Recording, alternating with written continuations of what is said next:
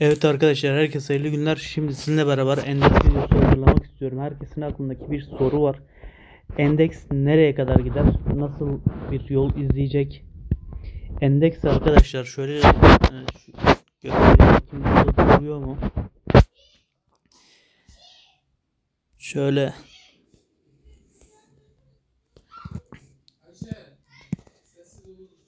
Evet. Burada duruyor. Ee, Benim 121 binler önemli bir direnç seviyesi dememin sebebi sürekli buydu. 120 binler ee, yaklaşık 3000 puanlık bir seviye vardı.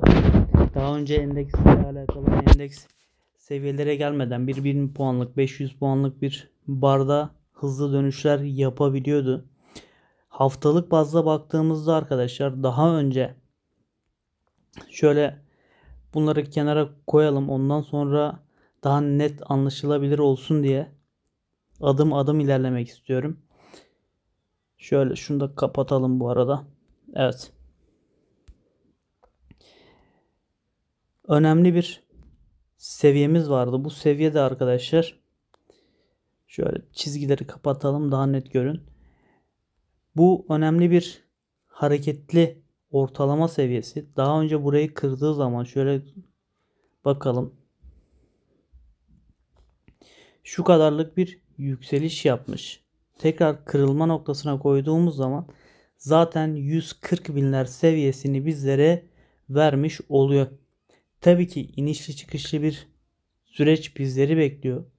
Bunun artıları ve eksileri olacaktır muhakkak.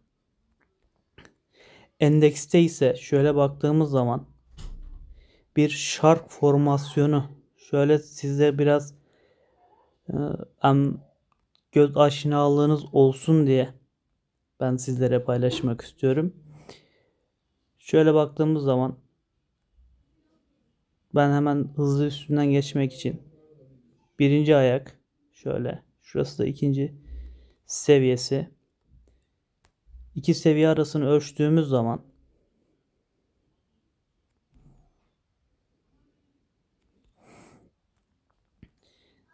arkadan biraz çocuk sesleri gelebilir. Yeğenlerim şu an e, aktif durumdalar.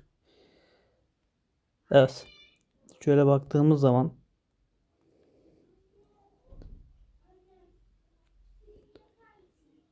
şöyle tam net getirmeye çalışıyorum. Telefondan yaptığım için biraz zaman alıyor. Evet. D ayağı da gerçekleşmiş arkadaşlar. Hemen şöyle bir olayımızı koyalım. 121 120 bin seviyelerinin neden neden ar, e, önem arz ettiğini, neden bunu sürekli sizlere tekrar ettiğimi söylemek istiyorum şimdi. Şöyle birinci seviye, ikinci seviye, üçüncü seviye ve bu da ilk hedef fiyatı arkadaşlar şurası. Sonrasında ise oluşan ikinci hedef bizlere 143 bin seviyelerini veriyor. Bu seviyeler de şöyle bakalım. Evet. 143.700 seviyeleri. Bu seviyeler grafik haftalık olduğu için tekrar söylüyorum. Grafik haftalık grafik olduğu için biraz uzun süreli bir periyot olacaktır. Kısa vadeli dalgalanmalar nerede son bulacak derseniz 118.450 seviyesini not alın. Bunun altına düşmediğimiz sürece üst seviyeler geçerliliğini koruyacaktır ki bu büyük yükselişin e, henüz büyük hisseler bazında başlamadığını varsaymak gerekiyor. Burada önemli bir diğer konu ise ne yaparsanız yapın siyasi gelişmelere mutlaka dikkat edin. Sebebi şu jeopolitik konumumuz ülkemizin bulunmuş olduğu jeopolitik konum dolayısıyla sürekli bir hareketlilik içinde siyasi kanatta bu siyasetten kaynaklı arkadaşlar bir düşüş periyodu gerçekleşebilir. Bundan dolayı kısa vadeli dalgalanmalar bizleri nerelere götürecek derseniz bizleri 118 bin seviyelerinin altına düşürmediği sürece aktif olarak 128 bin 800 seviyesi ilk 143 bin seviyesi de ikinci hedefimiz olacaktır. Burada çok çok önemli bir nokta olarak bunları not alabiliriz. Peki daha önce biz bunları görmüyor muyduk? Daha önce biz bunları bilmiyor muyduk? Arkadaşlar ben daha önce sizlere şunu söyledim. Aşağı yönlü oluşan bir formasyon var idi. Bu formasyon o zamanki siyasi gelişmeler çerçevesinde yukarı yönlü bir düşüş gerçekleşebileceği yönündeydi. Lakin endeksimiz yukarı yönlü geldi ve şu seviyenin hemen şurayı not almak istiyorum. Şu seviyenin üzerine hacimli olarak attığında artık yükselişin başlamış olduğunu rahatlıkla söylemeye başladık bizler de.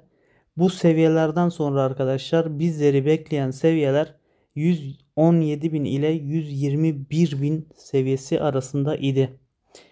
Bundan bunun sebebi 3, 3000 puanlık dalgalanmanın sebebi de arkadaşlar yaklaşık olarak 4-5 tane kısa vade hedefinin bulunuyor olmasıydı. 117.000 ilk 119.900 ve 21.000 seviyeleri başta olmak üzere 3 önemli hedefti kısa vadede. Sonrasındaki orta vade hedefi ise arkadaşlar 143.000 seviyeleri. Buna dikkat edelim. Hatta bunu trend olarak da sizlere göstermek istiyorum. Şöyle hemen